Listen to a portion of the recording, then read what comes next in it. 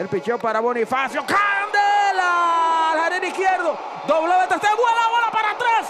Viene el semáforo. Está verde. Va para la goma. Bonifacio. Va para tercera y está llegando.